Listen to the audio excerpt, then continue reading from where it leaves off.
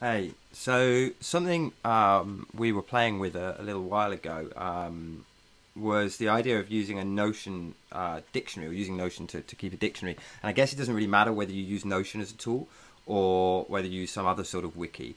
But the idea basically was to have some collection, glo- globally available collection within the company of terminology that maybe isn't isn't obvious. Now, I, guess it, it, doesn't really make sense to try and include all of your business terminology in there, but but if you think about the the kind of questions that new hires often ask, like, oh, what does that phrase mean? What does that acronym mean? Um, you know, there's often hundreds of those things, right? Um, I remember when I joined Red Academy in London as instructor, they did a thing called a 101, and, and I didn't really know what that was for quite a while. Um, and there's usually loads of terminology like that, and so the the aim of this dictionary is to provide a central place where that's written down, which again will really help if you're working asynchronously with people because you can kind of just direct them there uh, if somebody mentions a term they don't understand. As with any knowledge based type stuff, it, I guess it's pretty important to try and have this jointly owned and also to have somebody responsible for pruning it uh, and, and, trying to keep it neat.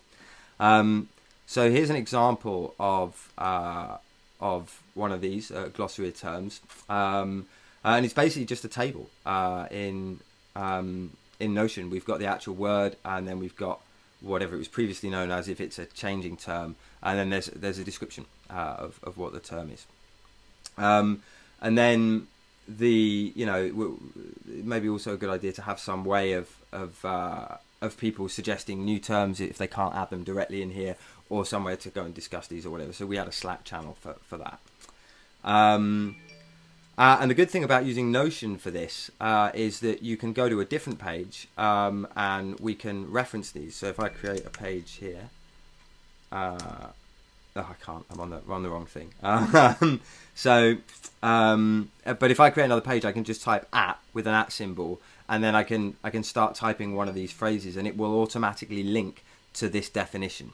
Um, and you know, I guess it doesn't really make sense to do that every time you mention one of these terms.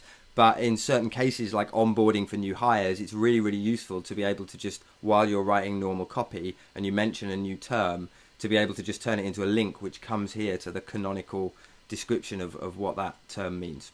Um, so we didn't get very far with this, as you can see here. We've only got 12 things in here at the moment. Um, uh, and and this company isn't really operating anymore. So, um, so I don't know how well this would work at scale, uh, but it's definitely an idea you might consider trying out. Um, I figure this might also work well within teams in larger organisations.